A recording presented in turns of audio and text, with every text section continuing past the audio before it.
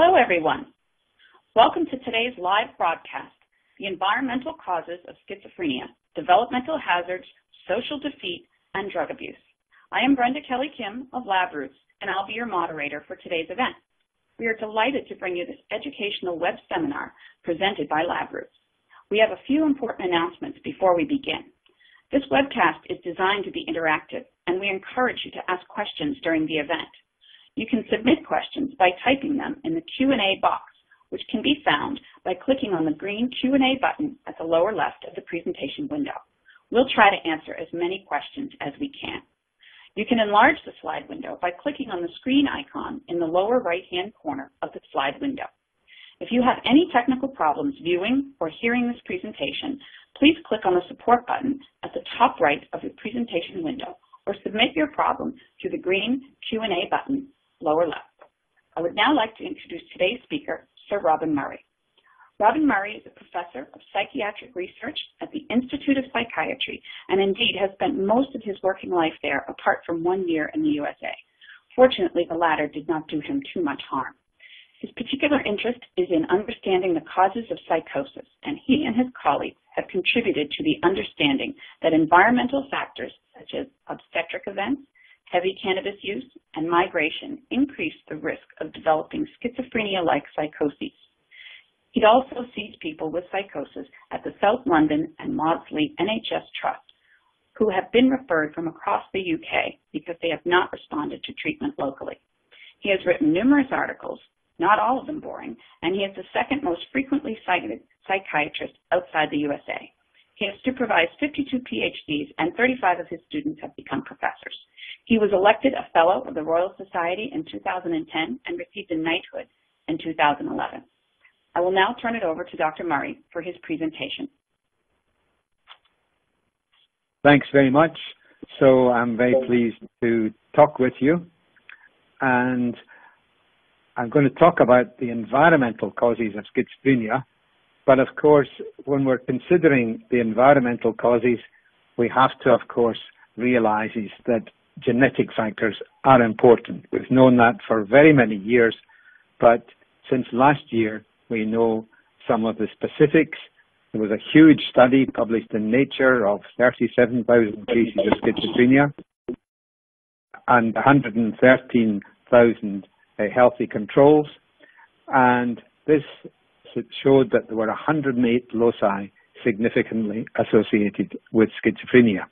So this was a fantastic, really important finding. I was at the conference where this was uh, announced, and the audience stood up and cheered because it's the first big breakthrough in the genetics of schizophrenia. And here you can see my countrymen in Scotland out in the out in the street uh, shouting hurrah, hurrah, 108 loci for schizophrenia. So this has been, this is a big deal.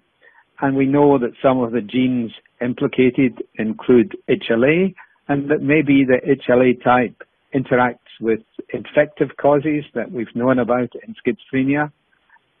One of the genes was the DRD2, the dopamine gene, and we know many of us psychiatrists spend our time trying to block this receptor with antipsychotics.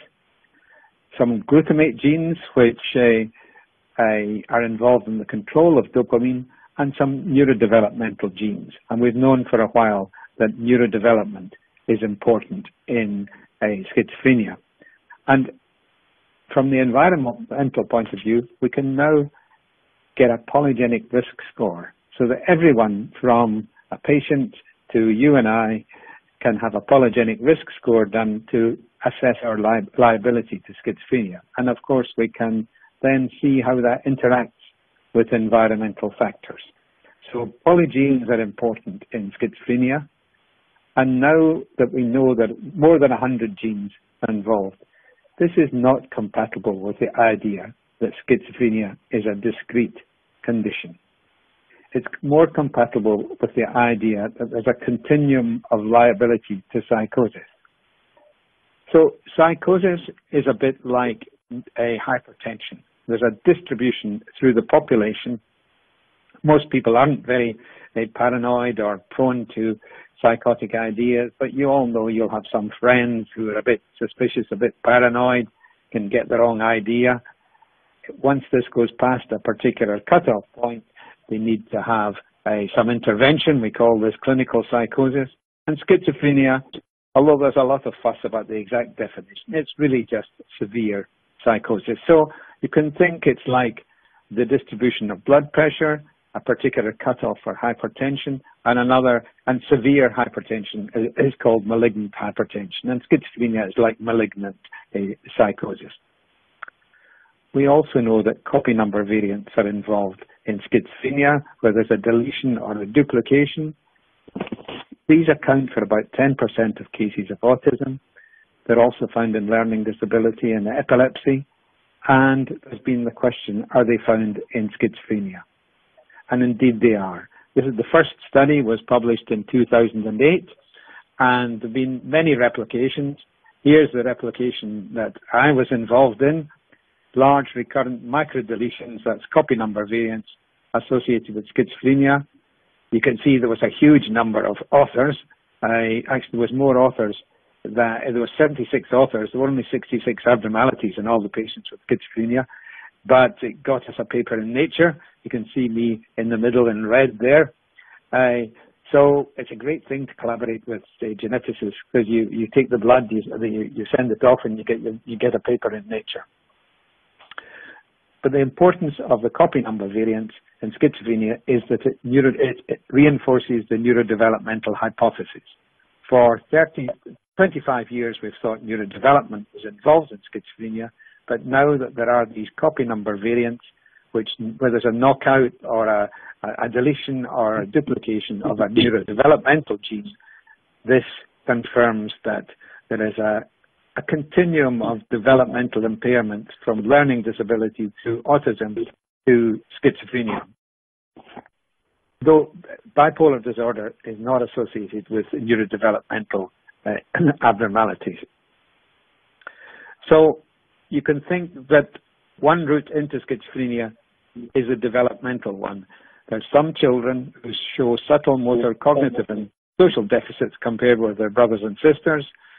They get social anxiety and depression as they go into their teens, begin to develop quasi-psychotic ideas. And CNVs, copy number variants, are one cause of this, that they impair certain neurodevelopmental uh, genes. Also, other little little genes like uh, BDNF or uh, DISC1 or ZNF, they're also involved in neurodevelopment, and they together they may impair uh, neurodevelopment and put people on the on the cascade towards schizophrenia. This can be compounded by pre and perinatal events. Uh, we know, for example, that hypoxia, if you have uh, hypoxia at birth, a prolonged labor, if you have, if, uh, if you're born preterm, all these factors increase the risk of psychosis. And there's some, some evidence, not really very hard, that prenatal infection may also increase the risk of schizophrenia. So probably individuals have their genetic susceptibility. Of course, many, many of us had difficult births, but if you have the genetic susceptibility and then hypoxia at birth, the two may interact to push you on this cascade towards schizophrenia. So you end up in your adolescence being a bit odd, having some quasi-psychotic ideas, suspicious of your uh, schoolmates, but you're not psychotic. What is it that converts you into psychosis? Well, we know in psychosis there's dysregulation of the dopamine system, that much evidence suggests that the final common pathway to schizophrenia is excessive dopamine synthesis and release in the striatum. And in this slide, you can see the striatal dopamine neuron producing too much uh, dopamine, and we psychiatrists spend our lives trying to block the blue uh, postsynaptic receptors. Of course, it would be more sensible if we could decrease the release of dopamine, but we can't do that, so we block the receptor. Now, we know that that occurs when people are acutely psychotic, but what about in the prodrome, before people actually develop the full-blown syndrome, when they're just wondering whether somebody is speaking about them, wondering if they hear a voice, wondering whether uh, somebody is interfering with their brain. Does do such individuals also have increased dopamine? And this is a study by Oliver Howes in our department, and this is a PET scan study using fluorodopa to estimate the uptake and synthesis of dopamine. In blue are the controls. In red are frankly psychotic people, and you can see that that's significantly different. In the middle are people in the prodrome with this so-called at-risk mental state, of whom about a quarter will go on to develop psychosis. And you can see that their dopamine levels are midway between the controls and the psychotic people. Here's, here's another way of looking at it. Here are the controls in the beige uh, yellowy. Here are people who do not, who have uh, the prodrome, have the at-risk mental state, but they do not transit into being frankly psychotic when they're followed up. And in the red are people who at baseline, when first seen, are in the at-risk mental state, but go on to become psychotic. You can see that they already have the increased uh, striatal dopamine. And this next slide shows uh, that as they go towards frank psychosis, so does their striatal dopamine gradually increase. So it's striatal dopamine that is the crucial factor in changing an individual from a, a, an eccentric, odd adolescent or young adult into a frankly psychotic one. It's the dis- dysregulation of salience caused by the excess uh, dopamine. So that's the developmental route into psychosis, partly genetic, partly environmental. But we know that drug use can also increase the risk of schizophrenia. We've known that for 50 years, uh, 60 years now actually, uh, uh that uh, Philip Connell wrote a monograph of a series of people who had amphetamine psychosis and they looked exactly like paranoid schizophrenics. And in most cases of amphetamine psychosis, if people stop taking the amphetamine, then after a few weeks or a few months, the psychosis goes away. But in about 10% of cases, it doesn't. The longer you've abused amphetamine, or indeed methamphetamine, because in recent years, methamphetamine has been a much bigger problem than amphetamine. Methamphetamine psychosis spreading from the Far East to Australia, South Africa, California, and then across the States, that it's quite easy to understand why this causes psychosis because amphetamine, methamphetamine increase, uh, effectively increase a synaptic dopamine. And the more synaptic dopamine you have, then in, in the striatum, then the more likely you are to be psychotic. But what about cannabis? I, and of course, attitudes to cannabis are changing. Here you can see um, an advert in, I think, Santa Monica Beach, Beach in California. You can, if you've been out in the sun, you've got a sore head or you're feeling a bit miserable, you can go off and see a doctor and get medical marijuana, which will cure all known diseases or the doctor will say it will cure it and will charge a, a for his prescription. And of course, uh, some Californian doctors are getting very rich on this.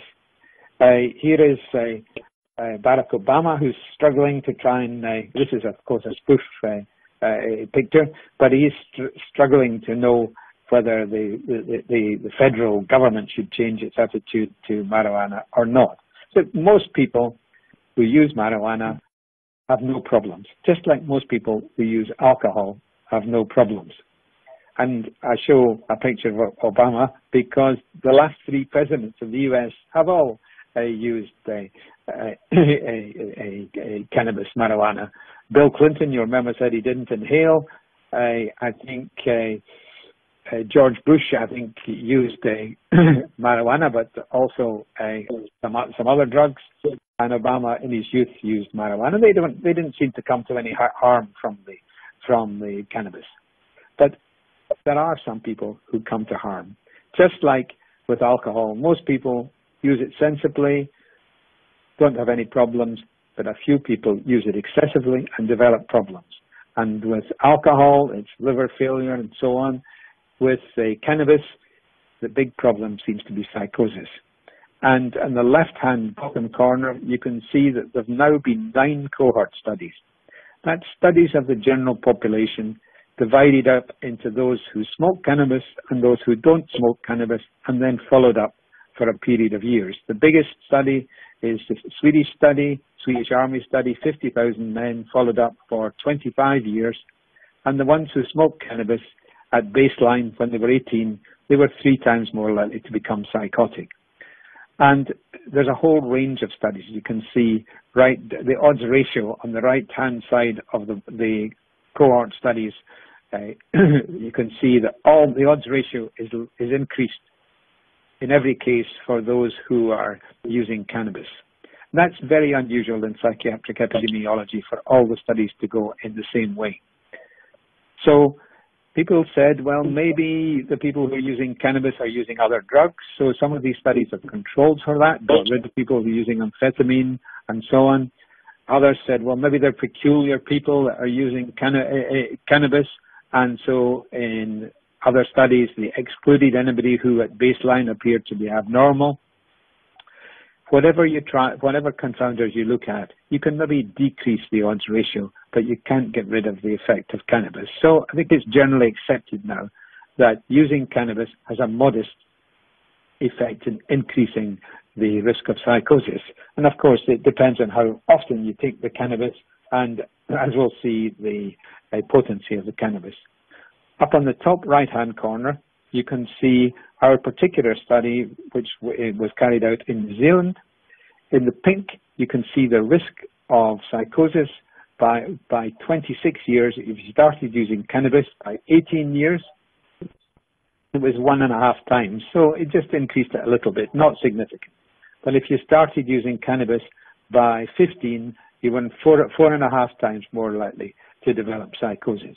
And several other studies have also shown this, that if you use cannabis when you're 12, 13, 14, then your risk of developing psychosis is considerably greater than if you wait till you're in eh, your 20s or, or, or later. One of the interesting things that has been happening to cannabis is that it's been becoming stronger. So if you think of traditional cannabis from the hippie days in, eh, in the 60s and 70s, the proportion of THC, that's tetrahydrocannabinol, the active ingredient in old-fashioned cannabis, was maybe about 3 or 4%. But it has slowly increased. Uh, not in all forms. This is cannabis resin, which is commonly smoked in Europe, not so much in the States.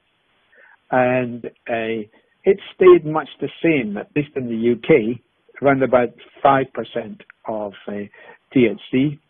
This is imported herbal cannabis, maybe called weed or marijuana often, and you can see it's got a bit stronger, up to about 9% THC.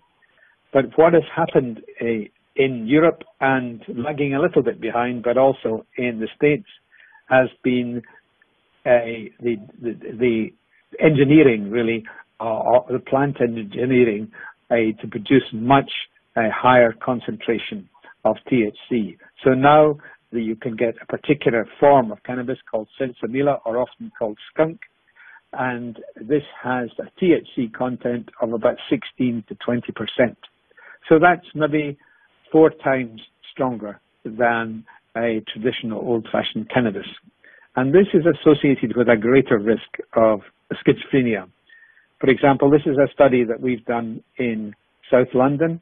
Actually, Marta Di Forti was the, the lead uh, researcher, and this looked at all the patients who came into our local hospitals with first episode of psychosis and compared their use of cannabis with that of the local general population.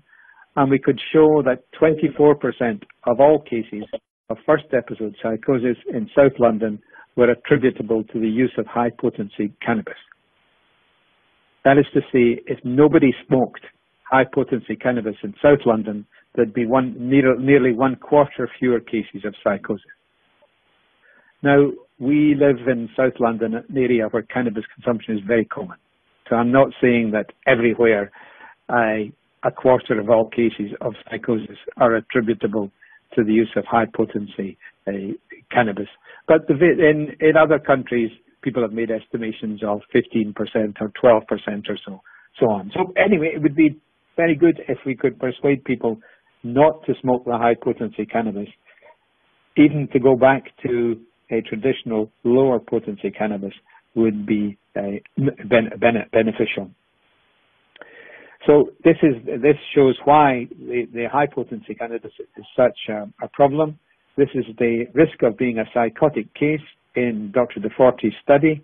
Over on the left, you can see people who've never used cannabis, then people who have used hash or resin, and it, it almost looks as if hash or resin is uh, protective, but that's not significant.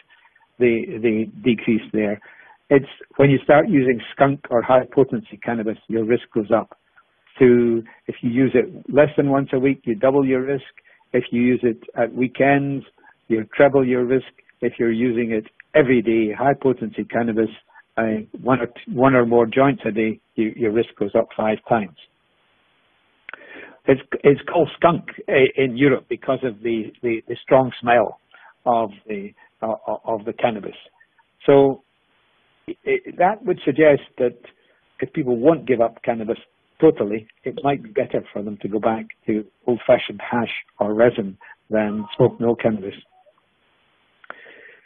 It is, of course, the case still that only a minority of those adolescents who use high-potency cannabis will develop psychosis, just like only a minority of people who drink alcohol uh, heavily will become dependent and and develop liver failure.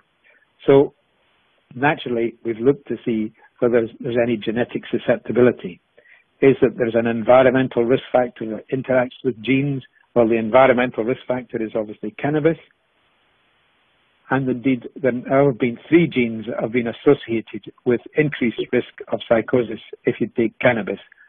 It was a study of catechol-O-methyltransferase. Avshalom Caspi was the first author suggested uh, that if you had the MET, MET genotype, then your risk was much higher. Now that has never been properly replicated.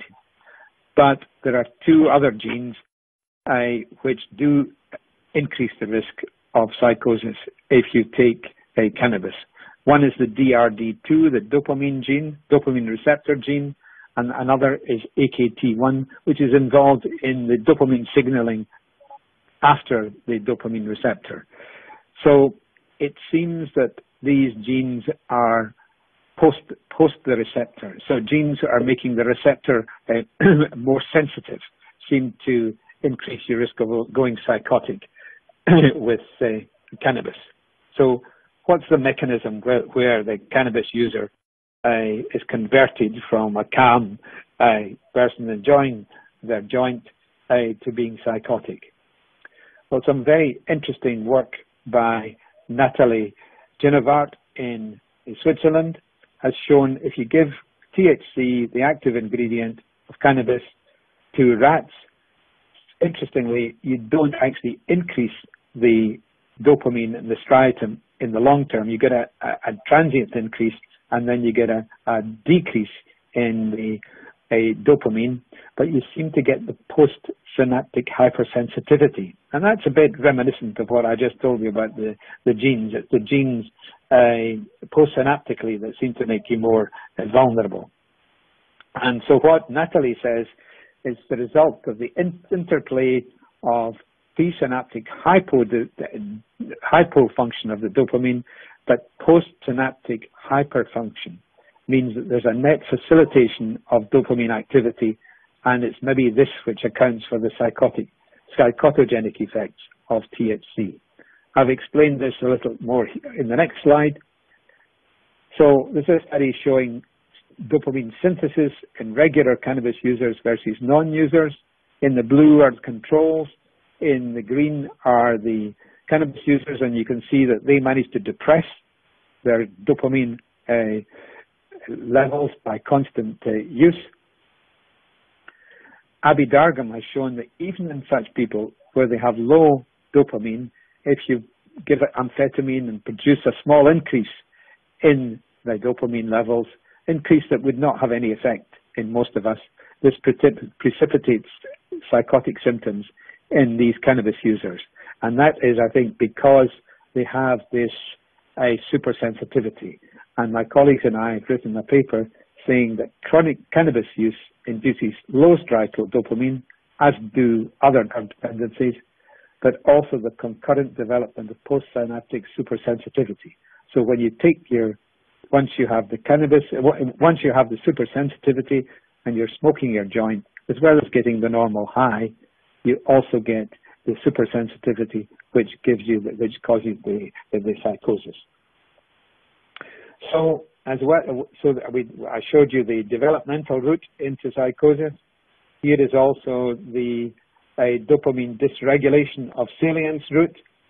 Uh, you, you have the drug abuse coming down here, and some individuals are particularly uh, susceptible. So there are at least two routes into psychosis, the developmental route, where individuals often have problems from very early in life. And then there are the drug abusers. And interestingly, they are often not, well, usually they're not developmentally impaired at all. Rather, they're often uh, very clever, very sociable, and st- street smart. The sort of boy at 13 or 14 has got lots of friends who knows his way around. He's socially able enough to find uh, somebody to give him cannabis, and he's clever enough to get money out of his parents, to con money out of his parents to pay for the can- cannabis without them finding out. So these are street smart kids who uh, are quite different to the neurodevelopmental, the impaired ch- children, but they end up sadly with uh, the same psychotic syndrome.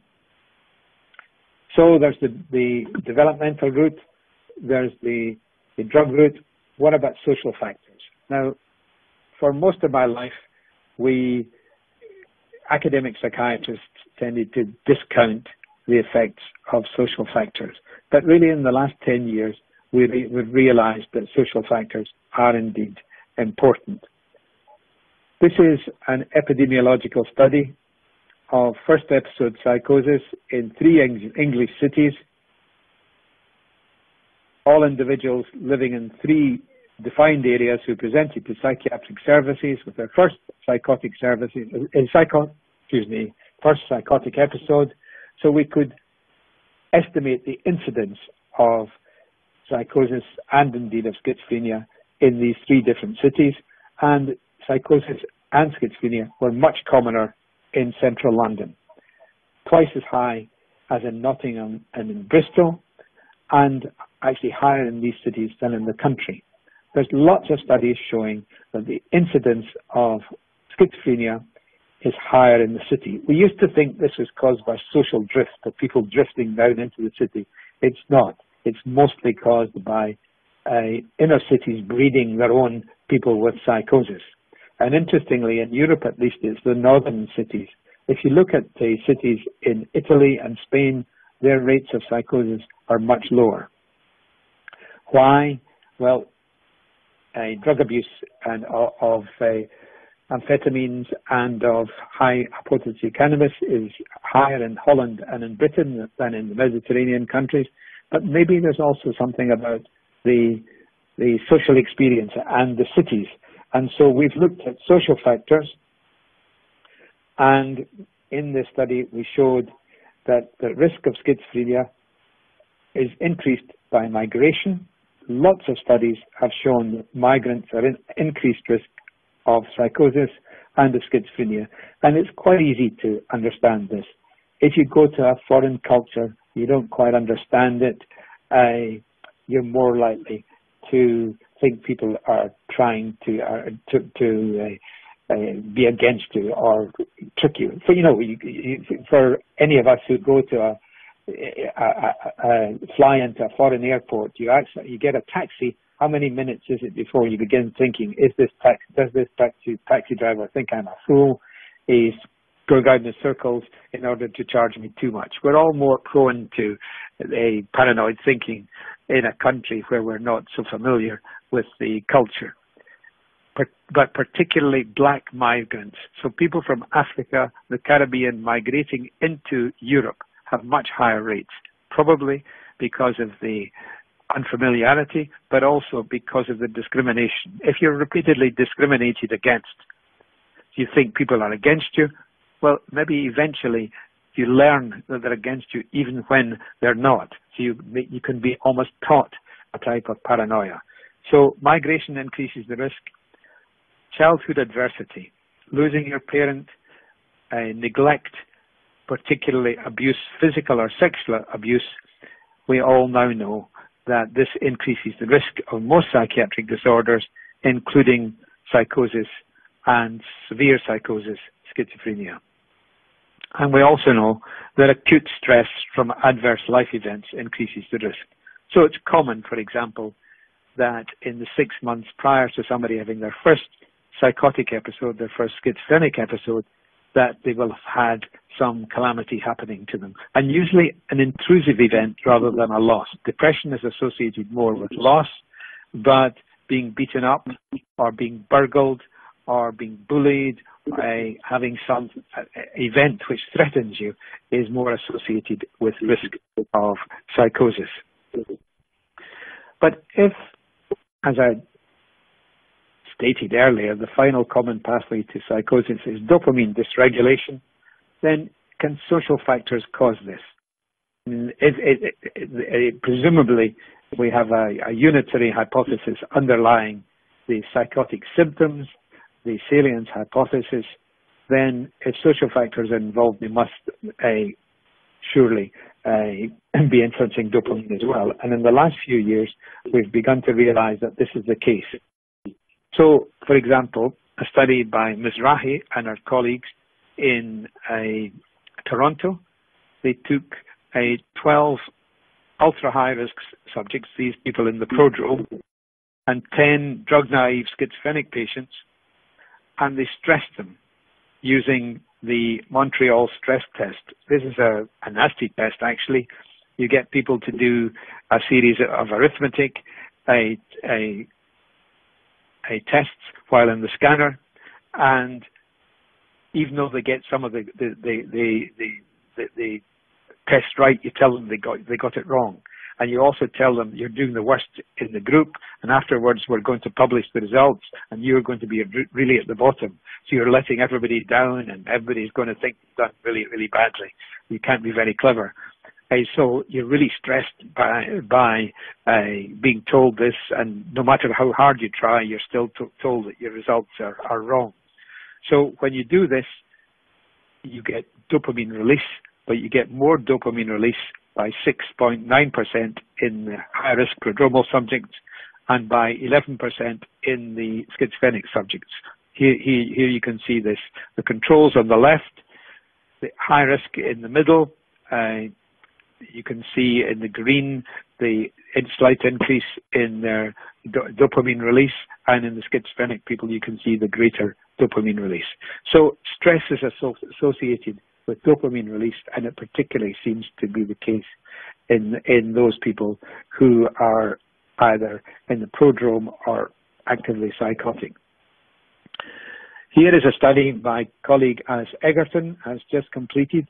It's in submission at present, and this was taking adults who were not psychotic, but some of them had had a, nasty childhood and some hadn't. So, for example, in the graph on the left, it's uh, divided by those who had either had severe sexual or physical abuse or hadn't.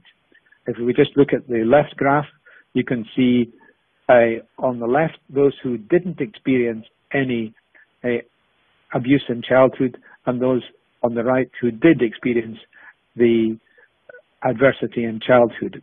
And you can see that the dopamine release a follow, follow, following a stress, the same, the same stress test was greater in those who had suffered the abuse. On the right hand side of the slide, this is those the, these healthy adults divided into those who had not had any changes in their family arrangements on the left and on the right, those who had two or more family arrangements. And so, you know, step, eh, eh, several divorces in the, or separations in the family, And again, you can see that those who experienced the adversity of more family arrangements, they responded by more dopamine release. So the point I'm trying to make here is that stress causes dopamine release, but particularly in those who have suffered as adversity as a child. So it does seem that social factors like acute stress or childhood stress can indeed release uh, dopamine. And as we discussed earlier, uh, drugs like amphetamine also release dopamine, whereas cannabis has this more complicated uh, uh effect on the on the striatal dopamine system. But all of the stress fact, all of excuse me, all of the risk factors for schizophrenia seem to impact on striatal dopamine. So back to my slide that you've seen already, the developmental route into psychosis, the drug abuse route into psychosis, and here the social adversity route into psychosis. This seems to operate uh, via the uh, HPA axis. So you get increased cortisol, you also get increased uh, dopamine. So there are at least three routes, uh, the developmental route, the drug abuse route, and the social adversity route. So you may think, well, this is all very theoretical. Uh, what, what are the implications for clinical psychiatrists like myself? Oliver Howes and I wrote an article in the Lancet uh, last year, really trying to integrate the biology with what we know about social and developmental and cognitive models of schizophrenia. So the model really would be that you have individuals who have a biologically sensitized dopamine system. They may have uh, inherited different, a different variant of the DRD2 or the AKT1 or some other uh, gene which uh, makes their dopamine system sensitive, sensitive, or they may have had some uh, environmental factor in childhood which has sensitized their dopamine system, or they may have been taking drugs which sensitize their dopamine system. Then they have an, an, an acute social stress that uh, say say they um, say that they, they, they're assaulted or, or some other adversity happens to them. This will result in them producing more dopamine release. We know when that happens, you get aberrant processing of stimuli. Dopamine makes you attend to things. All of us, when we attend to things, we release dopamine. But when you're running on too much dopamine, then you begin to think all sorts of insignificant things are significant when they aren't. So you, I'm sure I, those of you who are listening, you have no idea how many red cars you've seen today. But if you're running on too much striatal dopamine, you notice all these red cars. You think, why are all these red cars following me? Red, red means danger. Are they all out? Are they all collaborating to somehow follow me? Is there a conspiracy going on to somehow harm me? So you release more dopamine in response to the stress. This causes the aberrant uh, processing of stimuli. And particularly if you've had a bad childhood, that means you're more suspicious of other people, you tend to react in a paranoid way, then you're going to be more likely to develop a paranoid interpretation of uh, these uh, these phenomena that you begin. Say you you, begin, you think you hear a hear a voice, or you uh, things seem very strange all, all, all around you, and you wonder whether people are looking at you strangely. You develop a paranoid interpretation. You develop psychosis. Then what happens when you develop psychosis? Well, by this time you're sure that other people are out to get you, and of course this means that uh, you you feel much more stressed. You think people are out to out to get you. Then of course you have an argument with your neighbours. They shout at you. Eventually the police are called, and uh, at least in Britain, what would then happen would be that the police would call a psychiatrist and a social worker. Psychiatrist would come along by this time the individual is barricaded in their house. They're saying, "You can't. You're not going to get me. I know you're out to get to get me." The psychiatrist comes along and persuades the, and says to the patient, "Say, well, you uh, uh, you're not well. You have to come into hospital." And you say, "No, no, I'm certainly not coming in. I know that you're in league with uh, my parents and." Uh, and these people down the road who are out to get me. And of course, you're more stressed, you release more dopamine, you get more paranoid interpretations, you go psychotic. By this time, you're shouting and maybe you're waving out a, a knife out your door uh, to stop people getting you. The police come and, and overpower you, take you to hospital, uh, where you're injected. Uh, and of course, by this time, your dopamine release is uh, as high as possible. So in a sense, you, you get into a circular pattern of ever more increasing stress and ever more increasing dopamine release. Of course, what we do in the clinic is we try and give a dopamine blocker to block the dopamine release, to block the salience and therefore decrease the paranoid interpretation. And then gradually as people recover, we try and remove the factors that were causing the psychosocial stress. We try and get people to talk about the difficulties that they had in their childhood that makes them more inclined to uh, uh, interpret things in a paranoid way. And uh, so we try and break into this aberrant cycle. So with any luck, I think we can do it. And my view is that schizophrenia is not a deteriorating illness, and with proper treatment, we should expect the majority of people to improve and some to recover. So I'll just uh, finish at that point, and thank you all for listening. Thank, thank you, you Dr. Murray, for that informative presentation. Before we get started on the question and answer session, I would like to remind our audience how to submit questions. You can submit your questions by typing them in the Q&A box which can be found by clicking on the green Q&A button at the lower left of the presentation window. We'll try to answer as many questions as we can. Our first question for Dr. Murray is how to convince someone who is in denial of their illness. And I'm supposed to answer that in 30 seconds. Wow. I, I suppose it, it, it, it, it, it is very difficult.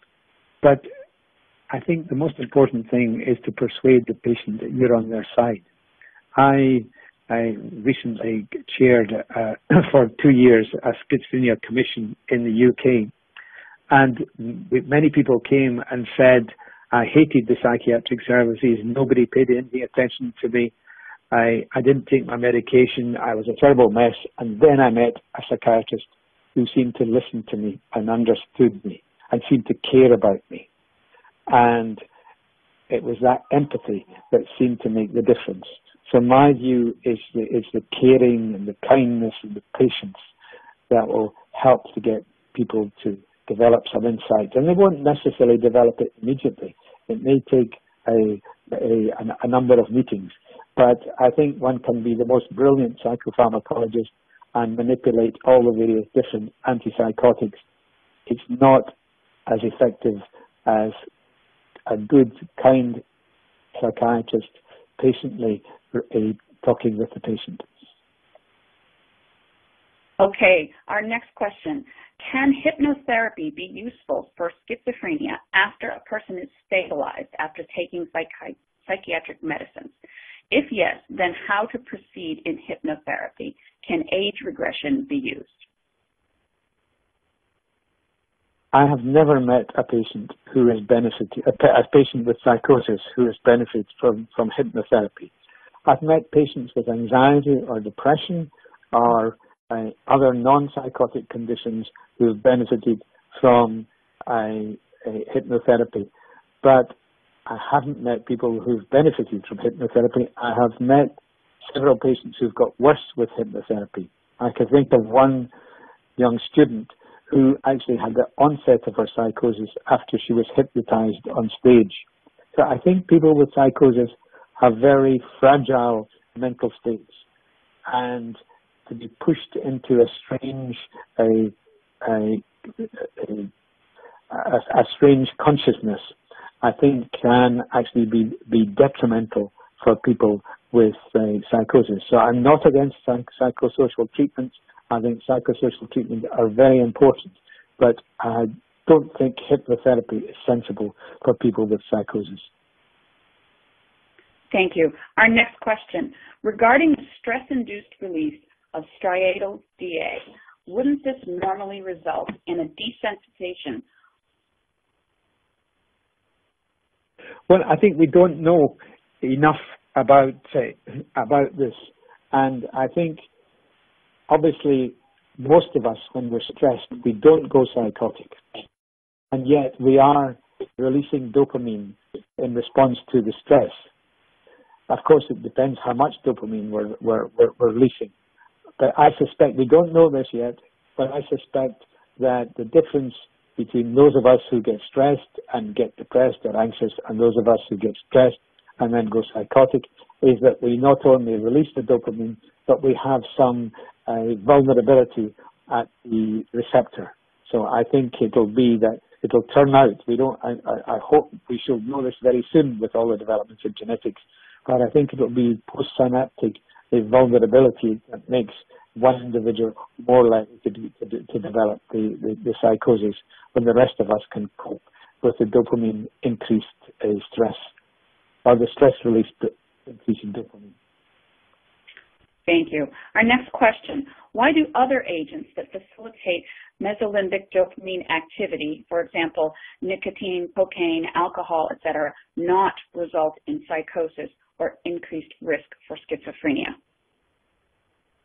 Well, it's a very interesting question. And I would agree alcohol does not seem to increase the risk of uh, schizophrenia.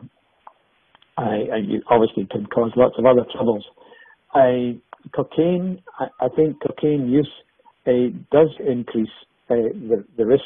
There's a study from a, a, man, a man called Callaghan in California, followed up all the people in the California health system uh, who had been to the accident and emergency unit with either methamphetamine use or cocaine use over the next 10 years, the methamphetamine users were 10 times more likely to become psychotic. The coke users were, were four times more likely to become psychotic. So I think cocaine uh, is accepted as being a cause of uh, psychosis. Though I don't think it's in any way as a, uh, as adverse or risky as as methamphetamine. Perhaps because people don't take it, they, they don't get just so dependent the question regarding cigarettes, if you had asked me this three or four years ago, I would have said there is no evidence that cigarette smoking and nicotine is associated with increased risk of psychosis. But I don't believe that any longer. Uh, we have just done a meta-analysis of all uh, studies looking at smoking and schizophrenia. Now, it's common knowledge that people with schizophrenia are much more likely to smoke than the rest of the population. And it's always been assumed that this, this is because they have all sorts of problems. They have a miserable life. They hear voices. They think people are against them. Well, psychiatrists and nurses have tended to say, well, poor souls, if one of their few pleasures is cigarette smoking, let them smoke. But we've now been eh, realized that the people who smoke do much worse. People who, if you go to a chronic a unit for chronic people with chronic psychosis, nearly everybody smokes. And a but, it still could be that that could be a consequence of their illness. So we've looked at people with their first episode of psychosis. People with their first episode of psychosis are three times more likely to be smokers than people who uh, are not psychotic. So why are they smoking? Because they, they weren't psychotic then. So there is something something that is driving their smoking before they before they develop uh, psychosis. And uh, there are now four prospective studies which show that adolescents who smoke cigarettes, smoke uh, taking nicotine, are more likely to develop a psychosis. So I think that uh, c- cigarettes uh, smoking does indeed increase the risk of uh, of psychosis. Thank you. Our next question, uh, an attendee is wondering if there are treatments specific for psychoses caused by environmental and social factors in young adults. Well, no, but this has not been properly explored. Until now, most therapy has assumed that people with schizophrenia are all the same and get a combination of an antipsychotic, a dopamine blocker, and they get cognitive behavior therapy. That would be the standard therapy in in Europe. So you get psychological treatment and you get an antipsychotic. But what uh, the, the, is quite right. There's there's somebody who's had child abuse and whose life has been troubled by that since the since their their youth. Then they obviously need a lot more psychological therapy than somebody who uh, developed a psychosis following the abuse of methamphetamine. So I think I, I, I, we're just at the beginnings of this, but I think there are some people for whom psychological treatments are going to be much more helpful. And once we are more developed, and I think there will be particular treatments which may be useful for people who've developed their psychosis following the, the abuse of cannabis.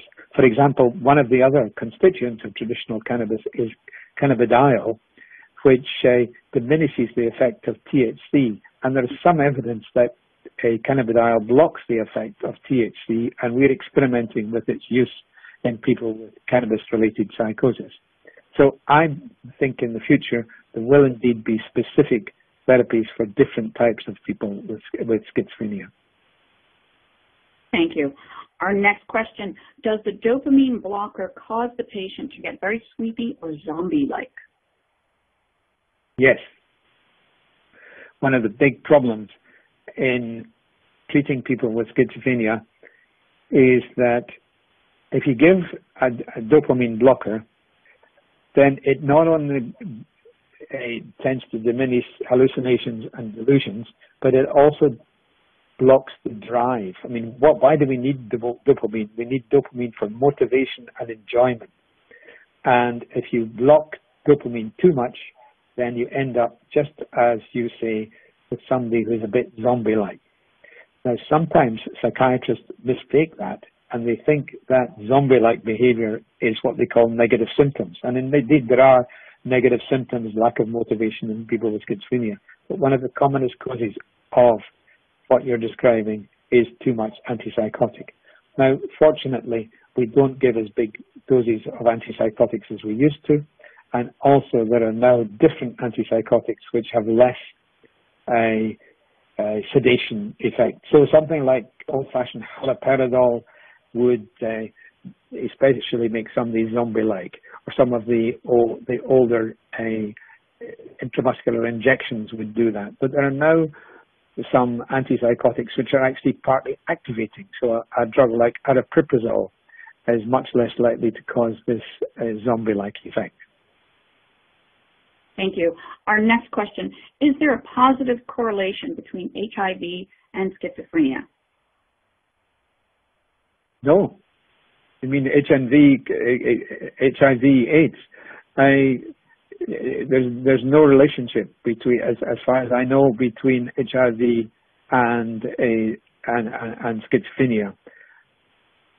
The, the I suppose the only possible well, I, have never seen any evidence for that. The only possible thing you might say is that sometimes people with schizophrenia are treated so badly and neglected so badly that they end up on the streets and they they might do things they wouldn't otherwise do uh, for money and food. So, but uh, in general, there's no association between HIV and and and schizophrenia most of the social problems that people with schizophrenia get into are because they're poor, impoverished, and they have to put up with such terrible circumstances. And if you think about it, people with schizophrenia are acutely sensitized, sensitive to the environment. They're much more sensitive than most of us. And yet most of us couldn't cope with the circumstances that many of the people with schizophrenia they have to put up with. In UK, we don't have so many homeless as in, in, in the street, in the states, fortunately. But our people with schizophrenia, they often go to a hospital where they might share a room uh, with somebody else they, they, who they don't know. They get relatively little money. They have relatively, they're in a bad part of town. They don't get any opportunities for education. They have a social life that the rest of us would find toxic. and of course it is toxic to them as well, and they and they tend to break down again. In a sensible world, uh, they would have the best uh, of resources and be protected from all these adversities. But that, of course, is not not the way we tend to treat uh, the unfortunate in Western societies. Thank you. Our next question. What is your opinion on potential TMS treatments for schizophrenia? So the, the question was PMS? TMS. Oh, T, T, TMS. I, yeah, so transcranial magnetic uh, stimulation. Well, there are some interesting uh, studies looking at the question of hallucinations. And some have been positive in saying that uh, hallucinations uh, are diminished or, or even or even go away following certain types of TMS. I think it's early days yet, but I think it's uh, it, it, certainly worth persevering. I think we're at an interesting point where there's not been much advance in drug therapies recently. So we've been people are looking at different types of treatment, and I think a cognitive behavior therapy is now established as being a, a useful adjunctive treatment, but there are also other types of psychological treatment and social treatments which are useful. The, the best thing for people with schizophrenia is to normalize them so that they live in a normal environment. The worst thing is for people to be isolated, staring at the wall and hallucinating. The longer that you spend preoccupied with hallucinations and delusions, the more difficult it is to get, to get ready uh, to, to get rid of them. Uh, and that's understandable. For most of us, our memories are full of uh, our families, our holidays, our work. If you've been hallucinated for the last six months, your memories are full of hallucinations and paranoia. And the longer that goes on, more difficult it is to uh, get rid of that. So even if somebody who's somebody, somebody can stay in the same medication, whether if they can go and work in a voluntary shop, they can meet uh, other people. The best thing for anybody with with uh, schizophrenia is to get a partner and to to begin to to have you know to to have the same kind of life as the rest of the population. This I think is much more beneficial than anything that psychiatrists can do. Thank you. Our next question: Why the risk factor with urbanicity? The major factor is supposed to be social stress and not pollution or bad food. Well, people have looked at pollution and they haven't found much. People looked, for example, at lead, at lead in petrol and lead in the atmosphere, and there wasn't found to be any any relation. The best studies, of course, are from Scandinavia, where they can really look at the whole population and they can look at risk in different areas. Uh, and generally speaking, they find that the risk is greatest in the areas of most social uh, social fragmentation. So if you live in a poor area where you don't know your neighbor and uh, you don't identify with the people around you, you don't have any proper social relations with them, then this seems to push up, up, up the risk. In my area in South London, the parts of, parts of South London where there is the highest incidence of schizophrenia are the areas where fewest people vote in a general election. It's not just poverty, it's whether you feel you're part of the community enough to go out and vote in a general election because you think you can change things. It's the areas where nobody thinks they can do anything and they can influence things. Where you walk down the street, you don't know any people, it's full of strangers and some of them might uh, rob you or, uh, or assault you that sort of area that seems to make people more paranoid and more prone to develop uh, schizophrenia. So we don't know. Well, let me give you another example. I said in Britain and in Europe, people, black people have an increased risk of psychosis. It's not misdiagnosis. We know that this is the symptoms of, psych, of schizophrenia. But if you live in an area uh, where lots of people of the same ethnicity live. For example, near our hospital, there's an area where people from the Caribbean live, and it's a very lively, interesting area. And you go to the the markets and full of Caribbean food and reggae. Bob Marley is booming out over the, over the sound systems and so on.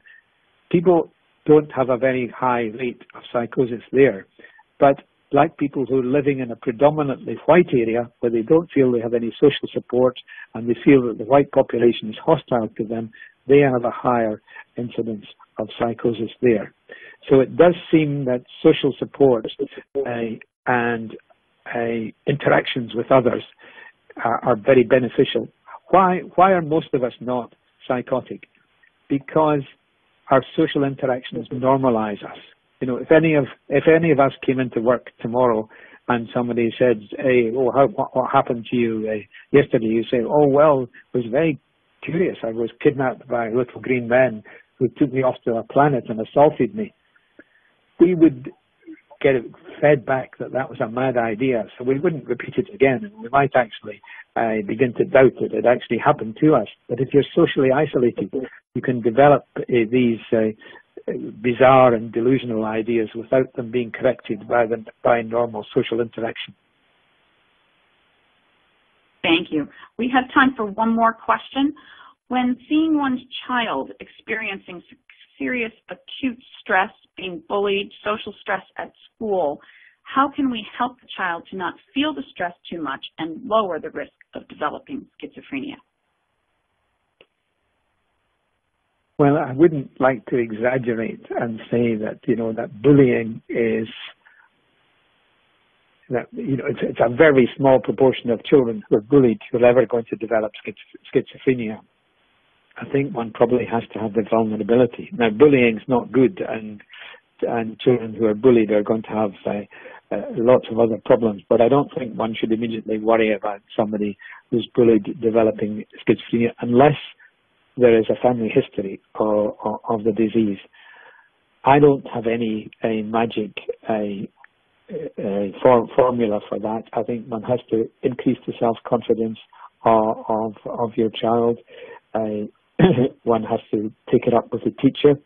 Uh, one has to try and, and encourage uh, your, your your child to be able to develop relationships and to become more popular with with you know to invite some of the other uh, children in the class maybe to go out, to go to the movies or go out for the day, try and support them in develop in developing friends. But I wouldn't uh, have at the back of one's mind that uh, just because one reacts badly to bullying, uh, this is necessarily going to uh, uh, make one develop schizophrenia. These things like bullying and child abuse, I think most people who are subjected to these recover it's it's uh, the combination of the of having the, the biological vulnerability and the social adversity. I think that pushes people over the threshold into psychosis, and sadly, if they don't respond quickly, into schizophrenia. Thank you. Unfortunately, we are out of time today. I want to thank the audience for their interesting questions and participation in today's event and our speaker, Sir Robin Murray. Today's webcast will be available for on-demand viewing through the next few months. You'll receive an email from LabRoots alerting you when this webcast will be available for replay, and we invite you to forward that announcement to your colleagues who may have missed today's live event. See you next time. Goodbye.